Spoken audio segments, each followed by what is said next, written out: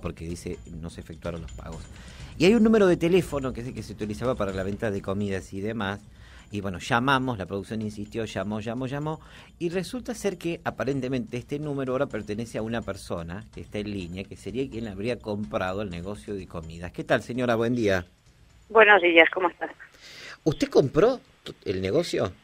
Exactamente lo que es el negocio, no lo que es el, eh, lo que es el delivery de las comidas con la línea telefónica, sin saber obviamente todo este problema porque esto salió a la luz ayer, pero el teléfono sí empezó a entrarme mensajes de reclamo a partir del día viernes a la tarde.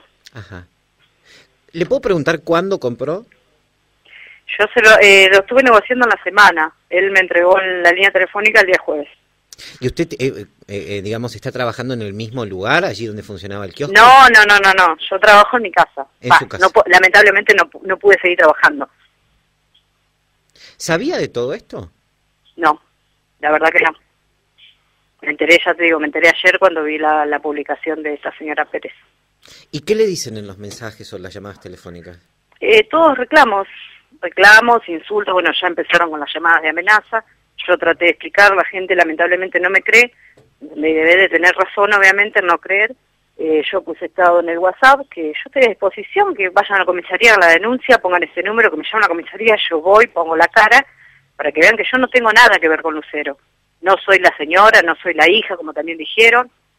O sea, la llamaban y eh, creían que usted era familiar y que se estaba haciendo, o sea, se estaba haciendo pasar por otra persona. Claro, exactamente, sí.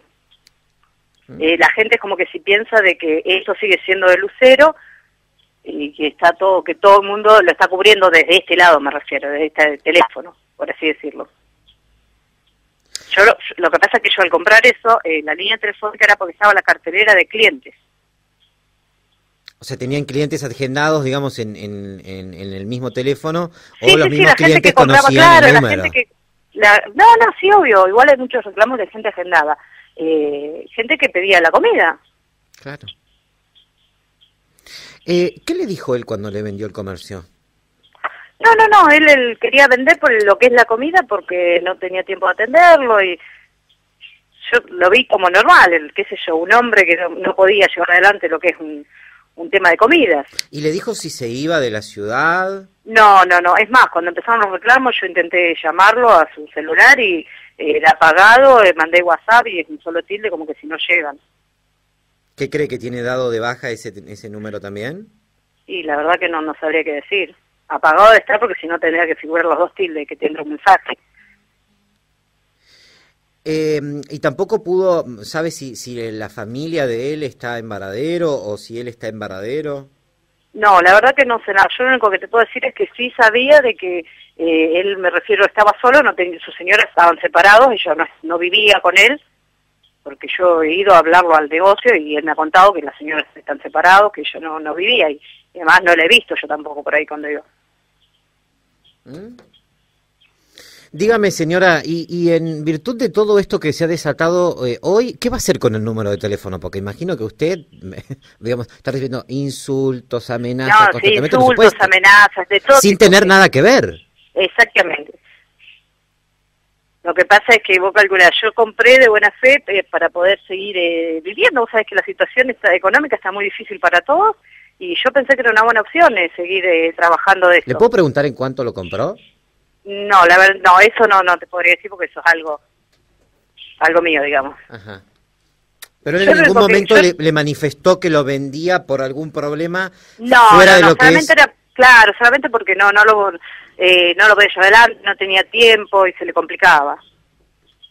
Y la verdad que eh, yo sé que se trabajaba muy bien con las comidas, por eso fue que eh, fue decidí negociarlo. ¿Usted era conocida de esta familia? Sí, yo lo conocía, sí, sí, lo conocía hace años, como todo el mundo que lo conoce a Camaradero.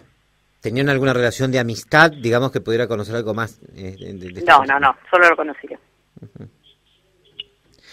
Eh, lo que no me quedó claro es, ¿el ofrecimiento se lo hizo él o usted le pregunta? Eh, no, porque salió el tema así de las comidas, hablando, entonces dijo que estaba que era cansador, que no tenía tiempo, que si podía lo iba a vender y bueno, yo lo hablé con mi marido y salió la posibilidad de comprarlo. ¿Usted era clienta? Sí. Bueno, le agradecemos mucho por este contacto, digo también que sirva para que evidentemente sepan, digamos que en ese número no lo van a encontrar, ¿no? No, no, acá no lo van a encontrar y la verdad que no, ni, a, ni a él ni a la familia, porque yo también vi, me pongo también en el lugar de la señora, de la ex mujer de nacer o de la hija, de que eh, piensan que es ella, que ella está atrás o que ellos están atrás y la verdad que no, no es nada que ver. Yo ya te digo, yo estoy a disposición de que me llamen de la comisaría, ir poner mi cara, que vean que yo no tengo nada que ver con cero.